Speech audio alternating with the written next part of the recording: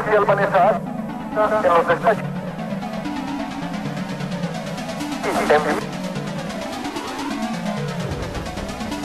Murieron un paro cardíaco tras un largo proceso diabético que se vio agravado hace un año por un ataque de miseria.